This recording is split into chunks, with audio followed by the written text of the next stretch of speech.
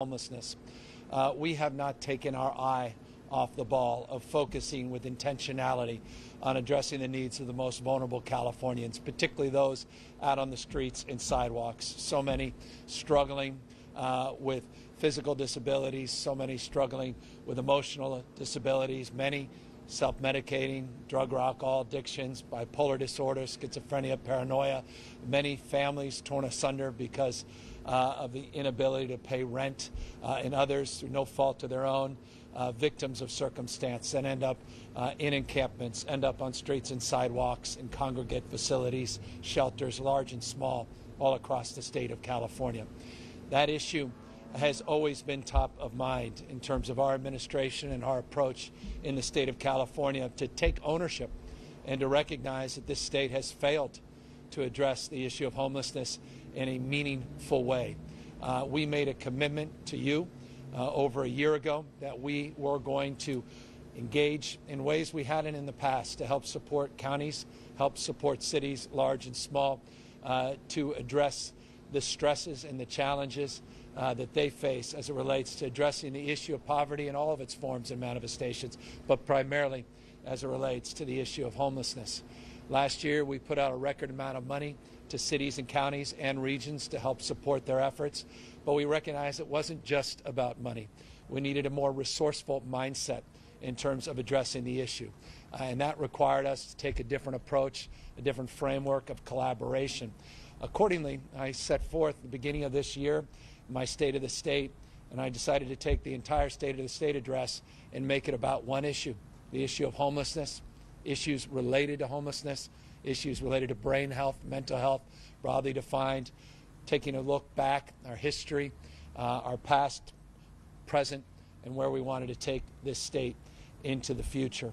We made some bold commitments in our January budget, uh, and no sooner did we make those commitments, than self evidently uh, we started to address the issues of this pandemic. As late as January, early February, repatriation flights into the state of California, a cruise ship off the coast of California into the San Francisco Bay Area, into the Oakland port, uh, and obviously a pandemic uh, that transcends the borders here in this state, our nation, and the rest of the world. Nonetheless, we worked very collaboratively over the course of the last number of months through this crisis to again focus with intention on the needs of our most vulnerable Californians. And despite all those headwinds, despite all those changing circumstances, we were resolved and we were committed uh, to figuring out a different strategy, a new way to actually produce real results. I've long said the future is not just something to experience, it's something to manifest. It's our decisions, not conditions that determine our fate, our future. So we resolved to make new decisions based on changing conditions. Uh, and we originated a program, first of its kind, first in the nation. We referred to it as Project Room Key.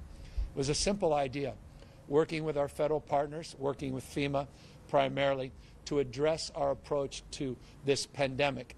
We recognized we needed to do much more to address our most vulnerable Californians that were out uh, in these congregate facilities, uh, out on the streets, sidewalks, and in large encampments all across the state. The prospect of the spread of this disease, the prospect that this disease would spread to people with underlying health conditions, self evidently presented itself as an opportunity but also as a challenge for this state.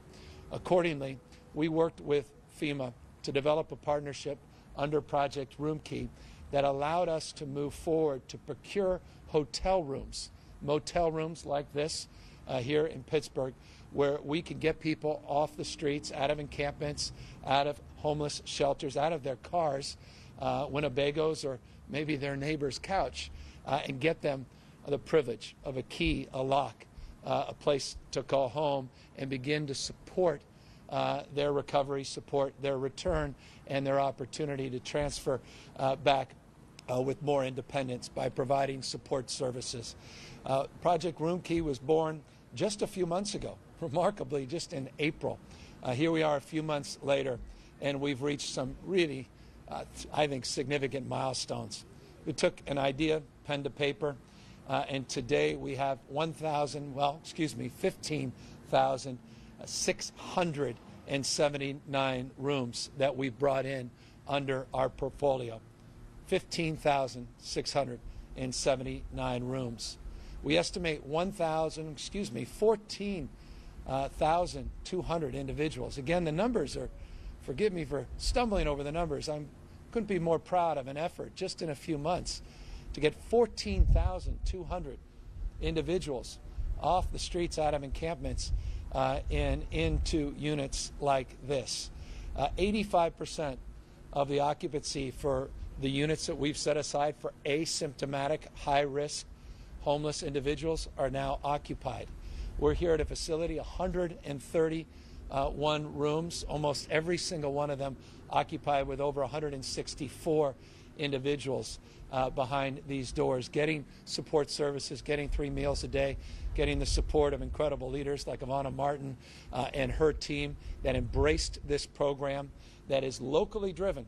State identifies the asset, provides the capacity to get reimbursed uh, from the federal government uh, and get support from the state of California. But at the end of the day, this program doesn't work without outstanding local uh, officials doing the job. And she has done a magnificent uh, job with Supervisor Glover and others that have been out there championing her efforts, supporting them, and demanding more, and demanding people in positions like myself to do better uh, to be even more supportive uh, to the counties, uh, including Contra Costa County. So we're proud of the progress.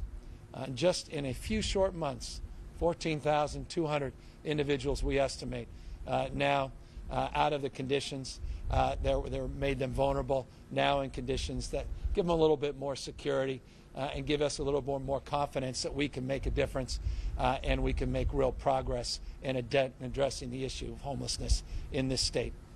That's the progress to date on room key. But what I want to announce today more substantively was the progress we made just yesterday. I signed a budget uh, to address a $54.3 billion budget shortfall. Signed it yesterday afternoon.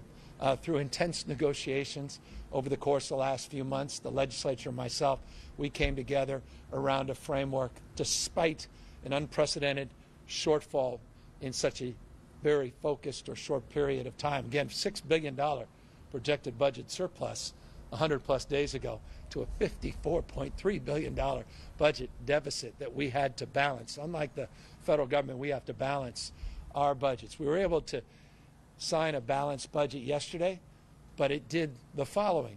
It provided an additional $1.3 billion to cities and to counties to support programs like this, meaning despite the deficit, despite the headwinds of stress that we had to address in balancing uh, our budget, we still made a commitment to lean forward, lean into the future, follow through on our commitment to do more and do better for homeless Californians. 900 million of that comes from the state itself. 550 million specifically for acquisition, not just leasing of units like this, but acquiring units like this. And I think this is rather significant. And forgive me again for belaboring this. If I appear to be enthusiastic, it is because I am for years and years and years as a former county supervisor myself, a former county mayor. I long to have the resources to purchase assets like this that would allow us to immediately get people off the street permanently. The reason I longed for that opportunity is we all recognize in the state of California, those of us in the county level and the city level, the cost and the time value of money to procure a site to get the funding to acquire the site, to get it set up, to do the entitlement process, to get it built, to get it occupied. Three, four, five years go by. And at the end of the day, the price tag in LA right now, is about $500,000 per key, per unit. So you start doing the math. Three to five years, half a million dollars, and you have one unit. If we're going to solve the magnitude of this crisis, 100 plus thousand people in the state, we've got to do something faster with more intention. We've got to do something uh, much more aggressively, differently, dare I say. And so this acquisition portfolio, this This pool of money, this $550,000, provides this flexibility for the supervisor, uh, for the Health and Human Service teams, uh, for the counties and cities to procure assets like this. $550 million. We also put additional resources into the hands of the counties, over 300 additional million dollars, 350 to be exact, that allow the counties to help support the services once units, motels, hotels, tiny homes, prefab homes, vacant apartment buildings are purchased that will allow the services to go on site. Because one thing we know, we don't think this shelters solve sleep, housing and supportive services solve homelessness. And that's the framework of what we now refer to no longer as Project Room Key, which was our emergency frame, but now Home Key. A sense of permanency, a sense of place, a framework of opportunity to anchor the progress we made in the midst of this pandemic and have something very meaningful to show for it moving forward.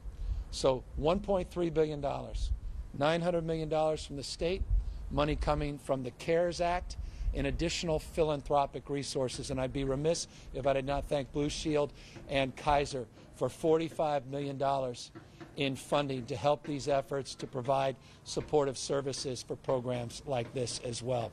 So we're very proud to make this announcement today. I'm very proud of the leadership here at the local level. 293 hotels like this have been procured in our portfolio in 52 counties in the state of California. Again, 15,679 rooms, over 14,000 individuals uh, now with a dignity of place to call home, and a program that is not permanent, Project Room Key, but continues to be extended on a month to month basis through this crisis. And we have no expectation uh, that FEMA will walk away uh, from their commitments anytime soon. I'd be remiss, by the way, if I didn't thank Bob Fenton of FEMA, who's just been an extraordinary leader, the regional uh, director of FEMA, whose ingenuity, his entrepreneurial spirit, uh, you talk about the good ones in government. Uh, this is one of the best. Uh, and it was because of his willingness to work with us uh, that we created this program. And now, interestingly, I pick up the paper the other day. Connecticut's trying to replicate this program. Hawaii is trying to replicate this program. Now, other states are, are looking to replicate uh, this same program, which we're very, very grateful for and very, very proud of. So I wanted just to share that with you at the top of my presentation. Uh, but as always, the purpose perhaps for you tuning in to this presentation is to hear uh, the updates on where we are as a state related to COVID-19, total number of positive cases, total number of hospitalized, total number of ICU cases. So let me briefly just update you on the current numbers in this state. In the last 24 hours, we had 6,367 individuals. 6,367 individuals that tested positive for COVID 19. We have seen an increase of the total number of positive cases rather consistently over the course of the last two weeks here in the state of California. In particular, concern is the issue of number of hospitalizations and the number of ICU patients in this state. Hospitalizations yesterday increased some 6.3 percent. Number of ICU patients increased 4.3 percent. I referenced the 6.3% and the 4.3%.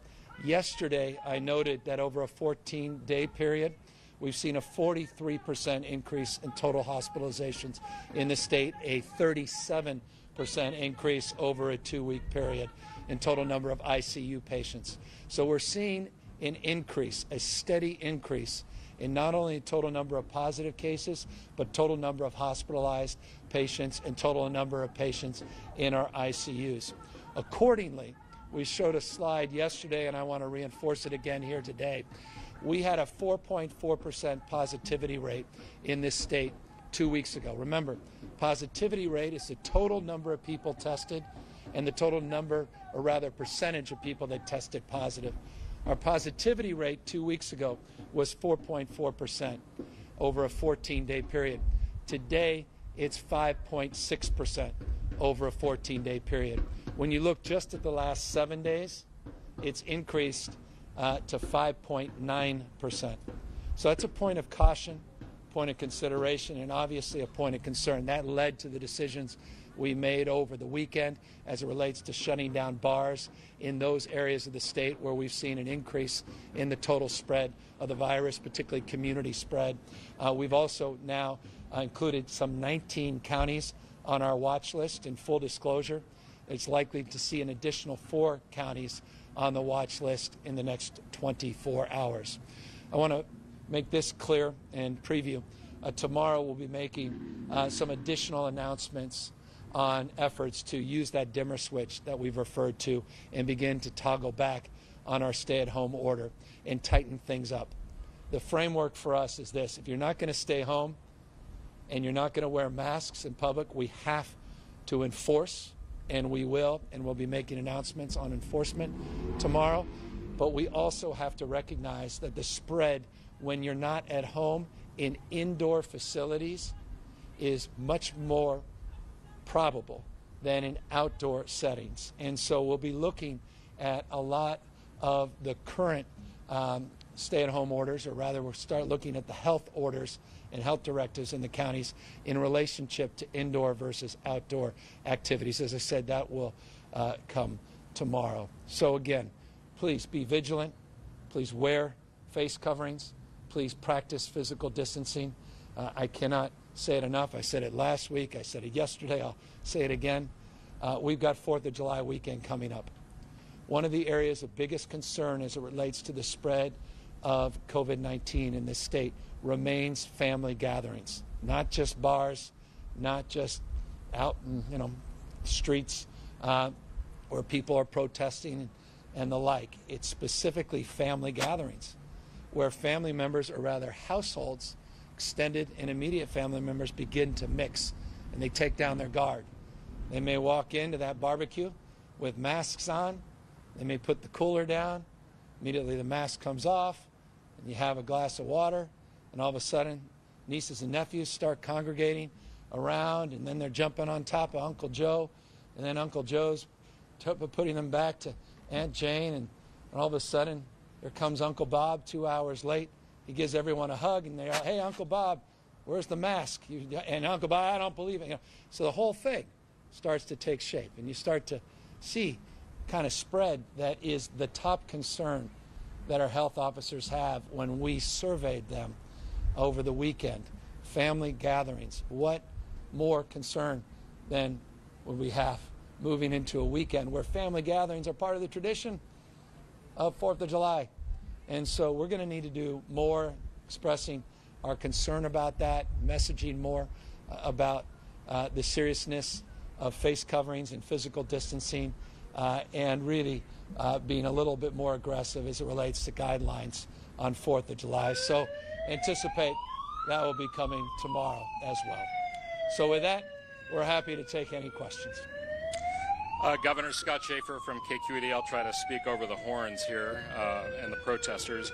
First question from Erin Baldassari at KQED. Uh, what funding is available for ongoing long term uh, Project Roomkey sites, and what will you do to counties uh, that refuse to buy into this program? How are you going to hold them accountable? Well, we have 52 counties that have participated in Project Roomkey, and we're very grateful to those 52 counties, and we're rewarding good behavior. This is not a requirement. Uh, I'm not the mayor of California. I can't demand that at the local level uh, that counties participate or cities participate in this program. But those counties, those cities that do, we're very grateful and they're being rewarded uh, with funding now, new funding in this budget that I just signed, $550 million specifically uh, for acquisition of hotels like this. In addition to that, we're doing a lot more to provide ongoing support services. Again, $1.3 billion that is being made available in the next year. Governor uh, Matt Levin from Cal Matters asks uh, Experts warn of a looming eviction wave that could make thousands more Californians homeless. Once the state of emergency ends, no state law currently protects renters from being evicted for non payment of rent during the pandemic. Do you support prohibiting evictions for non payment of rent during the pandemic? Yeah, but look, we I extended an, an executive order in this space. That executive order uh, also provided clarification, provided clarity for counties that would allow them to go further than even the state moratorium on eviction. Difficult and challenging opportunity to express a more comprehensive response with some of the uh, activities in the past. Look forward to following more fully up on that question. And uh, a question from Mackenzie Hawkins, Sacramento Bee. Is the state offering any incentives to local governments to participate in the program? And if not, do you anticipate that some cities uh, will oppose or decline to participate, I Look, guess, I- as some already are? Uh, I- we, we've done something unprecedented in this nation. We're providing unprecedented support for cities and counties to support a program for our most vulnerable residents. We're making a real impact, uh, and we've had 14,200 individuals that substantively have been the beneficiaries of this program. We're putting an additional $1.3 billion to extend the spirit and principle of this program, and we're looking forward to uh, working with those counties that haven't participated uh, and encourage them to participate. And obviously, we're going to make sure that those that are participating very actively and successfully, that they're rewarded in that process as well. Governor, I guess we have time for one more question. As the pool reporter, I feel I have to just say that these are Black Lives Matter protesters holding signs and asking for a redistribution of resources. Uh, Governor San Quentin has uh, over uh, a thousand inmates and more than 100 staff there have tested positive. The new state budget you signed holds counties responsible for not containing the spread of the virus. Uh, given the strategic and avoidable situation at the prison, how would you characterize the handling of this and who's being held accountable? I'm sorry, the last part of that, Scott. Uh, regarding San Quentin, given No, the got that. tragic and avoidable situation at San Quentin, how would you characterize the handling of it and who is being held accountable? Well, I, I spoke to this question in detail yesterday, and forgive me because of the noise.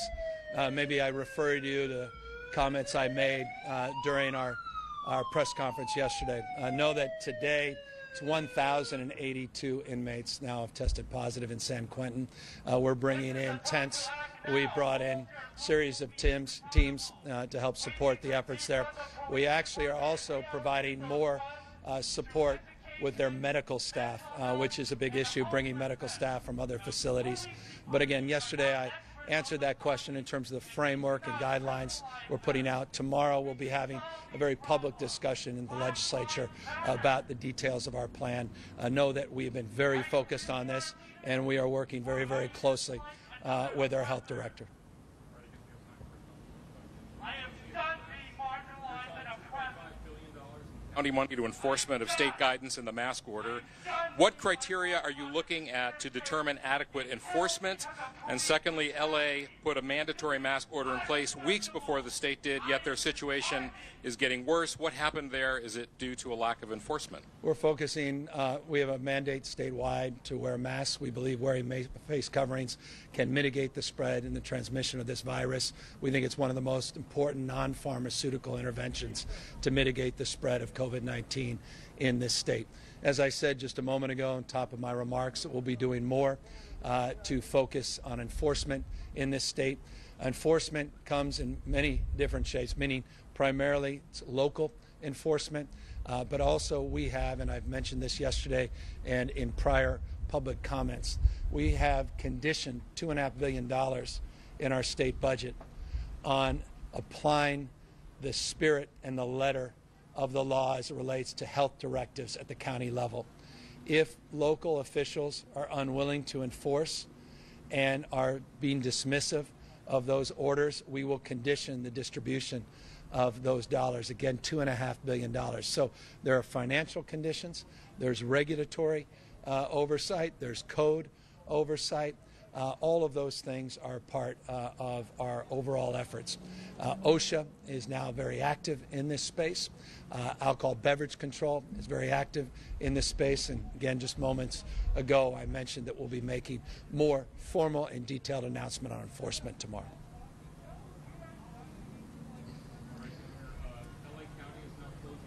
On the 4th of July, are you considering something similar statewide? Yeah, so as I just mentioned at the top of my remarks, uh, tomorrow uh, we will be making new announcements. I specifically referenced the concerns around 4th of July, uh, family gatherings related uh, to 4th of July more broadly, even beyond just Fourth of July.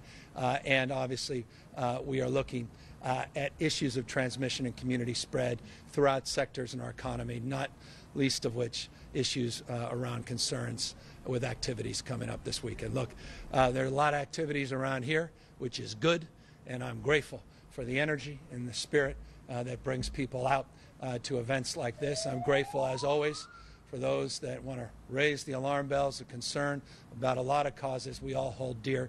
Uh, but again, the cause that brought us here today uh, is a deep commitment to address the needs of the most vulnerable Californians, uh, our homeless. And I could not be more proud and privileged to have signed a budget yesterday that fulfills uh, a commitment that we made uh, to continue to make historic investments despite the headwinds of budgetary constraints and continue to process programs that we think are really making a difference in people's lives. Project Home Key is one of them, or Room Key, now referred to as Project Home Key, moving forward with a sense of more permanency. As always, we encourage you to wear face coverings, practice physical distancing, uh, and continue to do your best to meet this moment head on. I want to just close by saying this. We bent the curve in the state of California once. We will bend the curve again. Mark my word. Uh, we will crush this pandemic. We will annihilate it. We'll get past this. But we're going to have to be tougher and we're going to have to be smarter in terms of our approaches. We are committed and resolved to do that. Look forward to sharing more information as we do on a daily basis with you, including tomorrow. Take care, everybody. Thanks again for the opportunity to share those thoughts with you.